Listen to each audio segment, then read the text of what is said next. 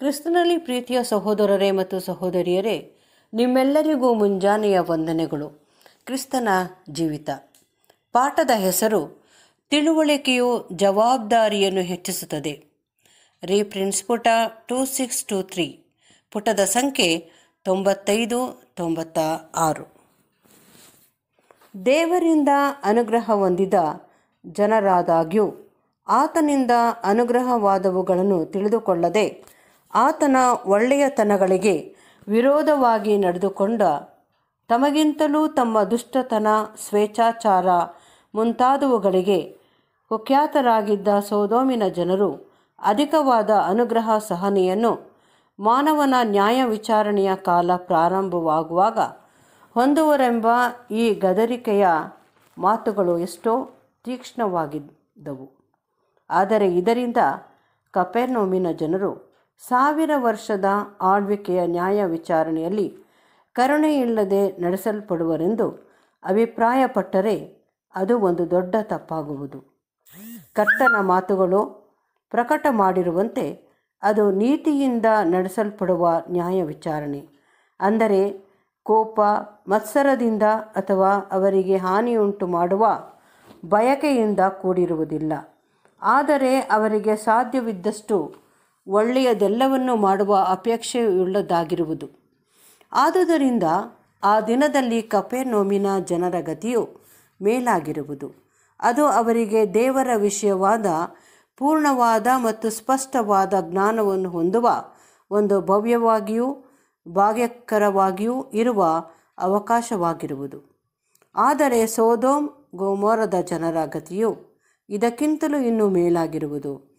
ಏಕೆಂದರೆ ಅವರ ಪಾಪಗಳು ಕೇವಲ ವಿಷಯಗಳಲ್ಲಿ ದೊಡ್ಡದಾಗಿದ್ದರೂ ಅದು ಗುಣ ಸ್ವಭಾವಗಳಿಗೆ ವಿರೋಧವಾಗಿ ಅಲ್ಪದ್ದಾಗಿಯೂ ಹೆಚ್ಚು ಅಜ್ಞಾನದಿಂದ ಕೂಡಿದ ಪಾಪಗಳಾಗಿದ್ದು ದೇವರ ದೃಷ್ಟಿಯಲ್ಲಿ ಅವು ಅಲ್ಪ ಹೇಯವಾಗಿದ್ದವು.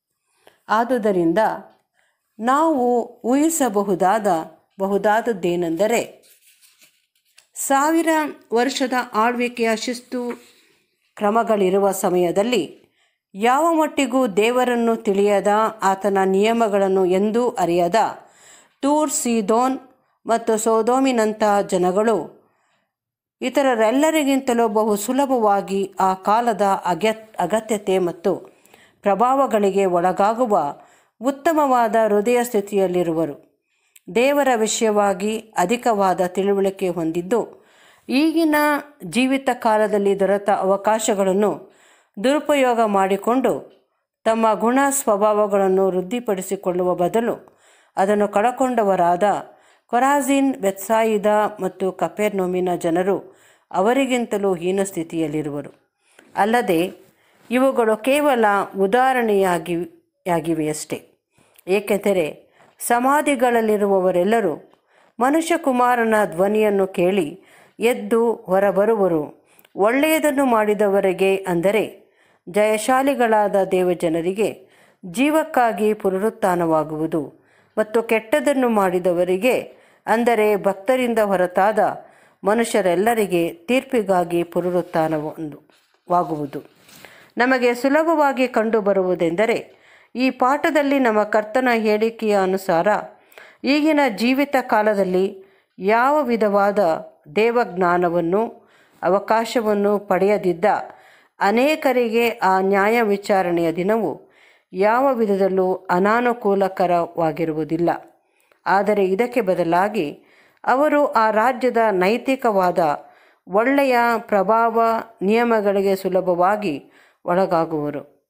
ಈಗಿನ ಜೀವಿತ ಕಾಲದಲ್ಲಿ ಕೆಲವು ಮಟ್ಟಿನ ಜ್ಞಾನ ಪ್ರಕಾಶದ ಸಂಪರ್ಕಕ್ಕೆ ಬಂದಾಗ್ಯೂ ಅದನ್ನು ನಿರಾಕರಿಸಿರುವ ಇತರ ಕೆಲವರಿಗಿಂತಲೂ ಇವರು ಅತಿ ಸುಲಭವಾಗಿ ಇವುಗಳಿಗೆ ಒಳಗಾಗುವರು.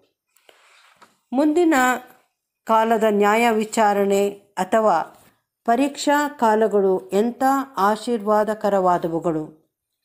ಆದಾಮನು ಅವಿಧೇಯನಾಗಿ ಬಿದ್ದು ಹೋದದರ ಫಲವಾಗಿ ಬಂದ ಅಪರಾಧ ನಿರ್ಣಯವನ್ನು ಯಾವ ವೈಯಕ್ತಿಕವಾದ ಪರೀಕ್ಷೆಯನ್ನು ನೀಡದೆ ತಮ್ಮ ಮೇಲೆಯೂ ಬರಮಾಡಿದ ದೇವರು ಅವರೆಲ್ಲರಿಗೆ ಆ ಅಪರಾಧ ನಿರ್ಣಯದಿಂದ ಒಂದು ವಿಮೋಚನೆಯನ್ನು ಏರ್ಪಾಡು ಮಾಡಿರುವುದು. ಮತ್ತು ಮಾನವ ಕುಲದ ಪ್ರತಿಯೊಬ್ಬನಿಗೂ ನೇಮಿತ ಕಾಲದಲ್ಲಿ ಒಂದು ವೈಯಕ್ತಿಕವಾದ ಪರೀಕ್ಷೆಯನ್ನು, ಅಂದರೆ ನ್ಯಾಯ ವಿಚಾರಣೆಯನ್ನು ಎಲ್ಲರಿಗಾಗಿ ಮರಣ ಹೊಂದಿದವನ ಮೂಲಕವಾಗಿ ಏರ್ಪಡಿಸಿರುವುದು.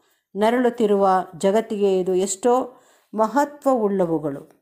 ಮತ್ತು ಆಗ ಅಲ್ಲಿ ದಯಪಾಲಿಸಿರುವ ಪರೀಕ್ಷಾರ್ಥವಾದ ಆ ಕಾಲಗಳು ಎಷ್ಟೋ ಅನಾನುಕೂಲಕರವಾದ ಸ್ಥಿತಿಯಲ್ಲಿರಬೇಕು. ಸೈತಾನನನ್ನು ಕಟ್ಟಿ ಹಾಕಲ್ಪಟ್ಟಿರುವನು ಮತ್ತು ದೇವರ ವಿಷಯವಾದ ಜ್ಞಾನವು ಮತ್ತು ಪರಿಪೂರ್ಣತೆಯಿಂದ ಬಿದ್ದು ಹೋಗಿರುವ ತನ್ನ ಸೃಷ್ಟಿಯ ಪರವಾದ ಆತನ ಒಳ್ಳೆಯತನವು ಮತ್ತು ಆತನ ಕೃಪಾಪೂರ್ಣವಾದ ಏರ್ಪಾಡುಗಳು ಭೂಮಿಯಲ್ಲಿ ತುಂಬಿಕೊಂಡಿರುವುದು. ಇವರೆಲ್ಲರೂ ನಾಶವಾಗದೆ ತಾವು ಇಚ್ಛಿಸಿದ್ದಲ್ಲಿ ಕ್ರಿಸ್ತನ ಮೂಲಕ ನಿತ್ಯ ಜೀವವನ್ನು ಹೊಂದಬೇಕೆಂಬುದು ದೇವರ ಅಪೇಕ್ಷೆ.